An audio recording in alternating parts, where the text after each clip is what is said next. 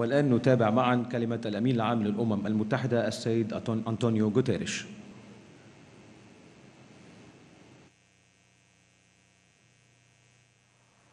Excellencies, dear friends, والسعادة الحضور الكريم في خضم هذه المنتدى كما تعلم أن القارة الأفريقية تواجه عدد لا ينضم من التحديات وطبعا الأزمة الاقتصادية والتي تزايدت بجائحة كوفيد 19 وبالأخص طبعا بحرب الروسية على أوكرانيا ووصول الناس لمصادر آمنة للغذاء. أصبحت أيضا أحد الأمور الأخرى الغير متوفرة وهذا يأخذنا إلى التعافي المالي. هناك عدة من عدد من التوترات والصراعات وهذا طبعا يذكرنا في الوقت ذاته بأزمة المناخ.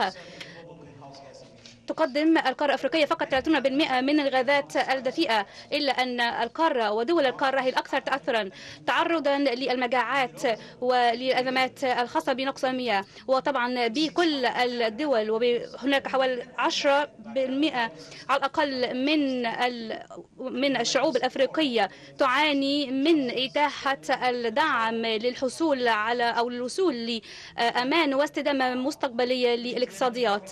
ولذلك في مواجهة الكوفيد 19 قامت كل الشركات الدولية والحكومات أن تعمل معا لتقديم كل مساعيها لتقديم عدد من اللقاحات والأدوية.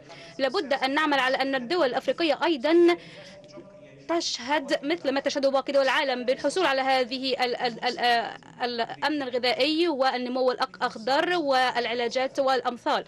لابد أن نتأكد أن هناك نمو تشهده القارة وهذا المنتدى يساعد في هذا الخصم في هذا في هذا الصدد. ومن خلال كل الجهات المعنية لتعمل على تأمين وبالأخص أجهزة الأمن نحتاج أيضا يكون هناك خطط واضحة واضحة وقوية التي تعمل على معالجة كل المشكلات التي تنبثق من مشكلة المناخ.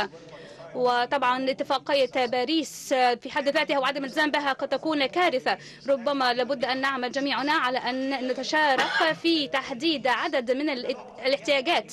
وطبعا وفقا لبرامج الاتحاد الأفريقي جميعها لابد أن تعمل على تحقيق امال ومساعي الجهود الأفريقية واستخدام المصادر المتوفرة والانتقال من استخدام الوقود الاحفوري للطاقة المجددة. حتى نتمكن من تحقيق ثورة ثورة ثورة حقيقية وجديدة باستخدام الطاقه المتجددة واستخدام أيضا المواد المتوفرة ومواد المتوفره حتى نتمكن من دعم وزيادة الاستثمارات.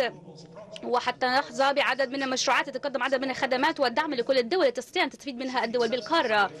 وأن ننتقل سويا من استخدام الوقود الأحفوري ونقدم الدعم اللازم للدول حتى تقوم ببناء اقتصاديات أخضر. ونعمل على زيادة الاستثمارات هناك حوالي مليارات الدولارات يتم استثمارها كل عام. لذلك لابد أن ننتهي هذه الفرصة.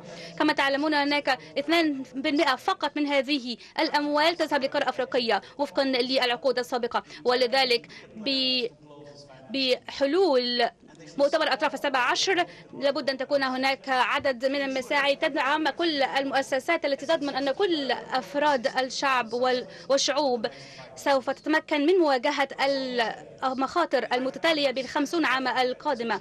ولابد أن تعلموا أن الأمم المتحدة تقف بجانبكم وبجانب الجميع لأن نحظى بمستقبل أكثر ازدهارا للجميع. شكرا جزيلا.